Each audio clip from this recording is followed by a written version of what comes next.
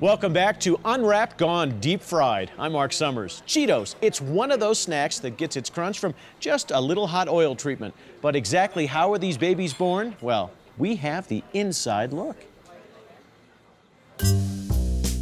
They're extra crispy and finger looking good. But we're not talking chicken, we're talking Cheetos. This snappy snack was introduced nationally in 1948 and soon became the king of the crunch.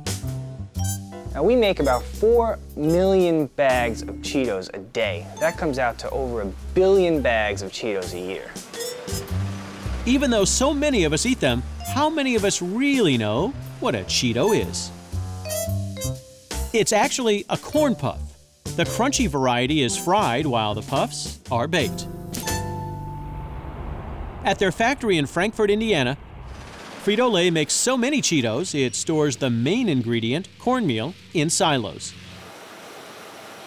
The Cheetos get cooking as cornmeal mixes with water, creating a batter. The batter moves through a tube to a machine called an extruder. The Cheeto extruder is so top secret, we're not allowed to show it to you, but it's what gives the Cheeto its unique shape. As the cornmeal is passing through our extruders, it builds heat as well as pressure, and that's what makes it pop into the collet shape. A collet is the technical term for an uncooked Cheeto. At this point, the collet is a pale yellow color like the corn it's made from and has the consistency of a rice cake. The collets ride a conveyor to the fryer where they are cooked to more than 300 degrees. When we first make the Cheeto coming out of our extruders, it does not have that crunchy texture that people have come to love. It doesn't take on that crunchy texture until after it passes through our frying operation. But wait, what about the cheese? Well, to make Cheetos, we use about 12 million pounds of aged cheddar cheese a year. And that cheese is mixed with oil and some other seasonings and then applied to the Cheetos.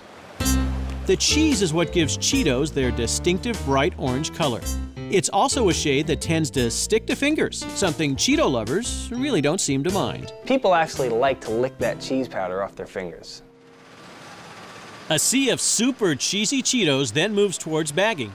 Along the way, trapdoors open up on the conveyor, dropping the Cheetos into weight check machines that measure the perfect amount for each bag.